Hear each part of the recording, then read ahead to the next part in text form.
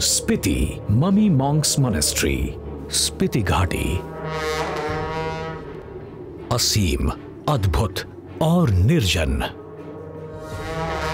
हिमाचल प्रदेश का यह सूबा कभी पश्चिमी तिब्बत के साम्राज्य का हिस्सा था। हिमालय की गोद में बसे स्पिति तक पहुँच पाना लगभग नामुमकिन है।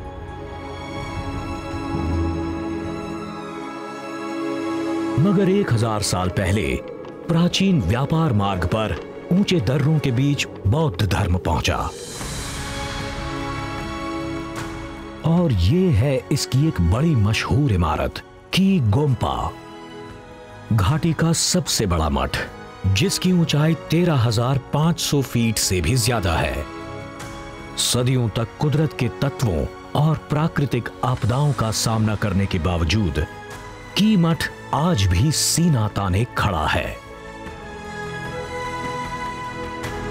आसमान छूती ये इमारत, पहचान है बौद्ध मत की शाश्वतता की।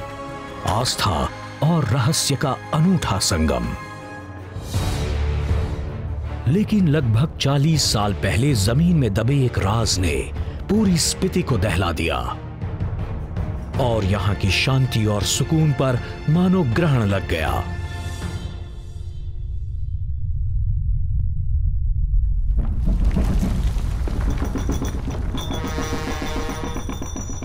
प्रकृति का कहर बरपा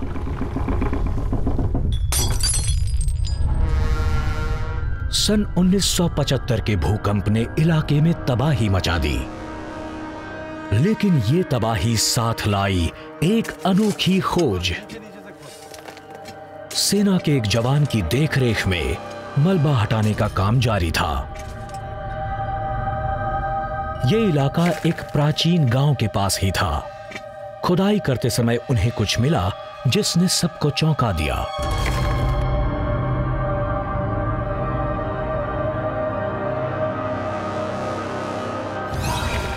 एक इंसान के अवशेष, एक संरक्षित ममी, करीब 500 साल पुरानी।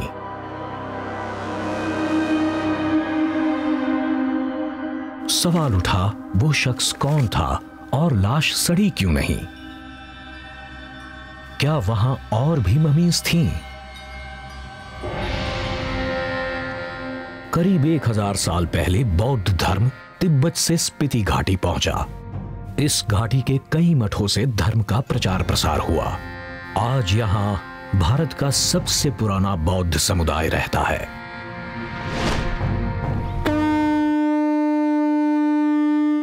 की गोम्पा में एक नया दिन शुरू हुआ।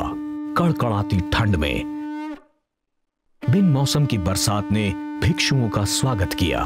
मगर ये बड़े साहसी भिक्षु हैं और सर्दियों के मौसम में भी ये शून्य से 30 डिग्री नीचे तक के तापमान का भी सामना करते हैं।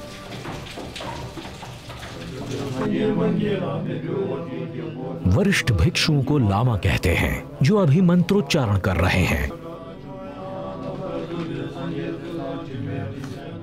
बौद्ध लेख पाली भाषा में लिखे गए थे जिनका अनुवाद विद्वान भिक्षुओं ने तिब्बती भाषा में किया था।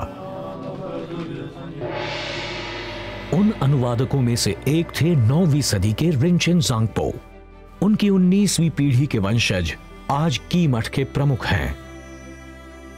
क्योंकि मुझे रिंचेन जांगपो का अवतार माना जाता है इसलिए मेरा फ़र्ज़ है कि मैं इन इलाकों में बौद्ध धर्म का प्रचार करूँ। रिनपोचे के साथ मठ में 300 भिक्षु रहते हैं। भारत के हिमालय क्षेत्र में सबसे ज़्यादा। भिक्षु बनने का असली मकसद था अपना विकास करना खुद पर नियंत्रण रखना सीखना हमेशा खुश रहना। और सबसे ज़रूरी बात यह है कि अपने इस समाज की सेवा करना। मौसम अच्छा होते ही नौजवान भिक्षु चर्चा सत्र के लिए जमा होने लगे। पाठ्यक्रम वही पुराना है। महात्मा बुद्ध की शिक्षाओं, यानी धम्म पर अमल करना सीखना। धम्म की प्राप्ति के लिए भिक्षु मानवीय कष्टों से ऊपर उठकर महात्मा बुद्ध के उपदेशों का प्रचार करके उन्हें मज़बूत बनाते हैं। पत्थर काटकर बनाए गए इन कक्षों में ये भिक्षु अपनी सबसे बड़ी शक्ति, मन की शक्ति को साधते हैं। ये कई साल तक साधना करते हैं ताकि सच्चे साधक बन सके। और जो अगले स्तर तक पहुँच जाता है, उसे एक निजी कक्ष मिलता है। यह सिलसिला कई साल तक चलता है। शायद इसी वजह से उस भिक्षु की मम्मी भी मिल पाई है।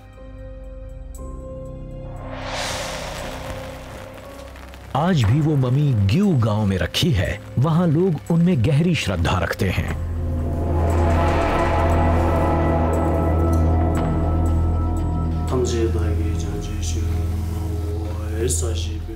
डीएनए जाँच से पता लगा कि मम्मी करीब 500 साल पुरानी है। और कमाल की बात तो ये है कि मम्मी के दांत, नाखून, उसकी त्वचा और सिर के बाल आज तक सुरक्षित हैं। उनकी लाश पर फपुन जमने लगी थी। इसका मतलब है कि उस पर रेजिन कोटिंग नहीं की गई थी। ज़ाहिर है वो आर्टिफिशियल ममिफिकेशन नहीं थी। मिस्र की ममीज की तरह इस ममी पर रसायनों का लेप करके उसे कृत्रिम तरीकों से संरक्षित नहीं रखा गया था। सवाल है, इतनी सही ममी बनी कैसे? उसका जवाब आज तक नहीं मिला। लेकिन कुछ लोग मानते हैं वो एक बौद्ध भिक्षु थे और अपने जीवन काल में ही उन्होंने अपनी ममी बनाने की प्रक्रिया शुरू कर दी थी। स्थानीय लोगों के मुताबिक उनका नाम था सांघा टेंजिन। वो स्वयं को जीवन मृत्यु के चक्र से मुक्त करना चाहते थे।